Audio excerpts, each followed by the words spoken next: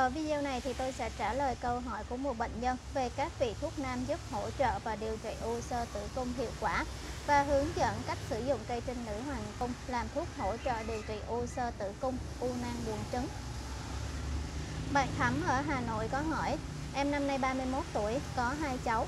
Tháng trước em đi siêu âm, bác sĩ chẩn đoán là em bị u sơ tử cung dưới thành mạc, kích thước là 4,7mm. Em đã uống hết hai hộp Nga phụ khang Hôm nay em đi kiểm tra lại kích thước còn 4,5mm. Bác sĩ nói em là nên đi mổ. Em muốn hỏi là kích thước u sơ của em thì có cần mổ hay không hay là chỉ cần điều trị thuốc là sẽ giảm. Em nghe nói uống cây trinh nữ hoàng cung sẽ làm giảm kích thước u sơ tử cung. Thông tin này có chính xác hay không? Nếu đúng thì xin chỉ dùm em cách sử dụng cây trinh nữ hoàng cung để làm thuốc. Em xin chân thành cảm ơn. Chào bạn, Thảo Dược Đức Thịnh xin phép được trả lời câu hỏi của bạn như sau.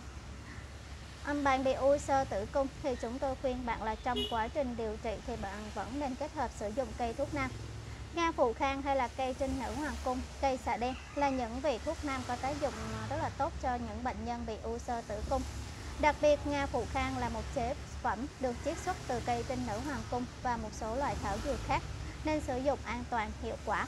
Bởi vậy thì bạn có thể yên tâm sử dụng lâu dài còn đối với cây trinh nữ hoàng cung, đây là cây thuốc nam đã trải qua rất là nhiều công trình nghiên cứu kỹ lưỡng và được chứng minh là có tác dụng điều trị u sơ tử cung, u nang buồng trứng rất là tốt.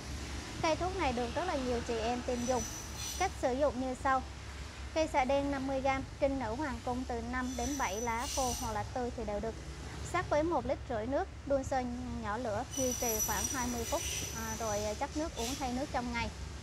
Bạn không nói với chúng tôi là u lành hay là u ác tính.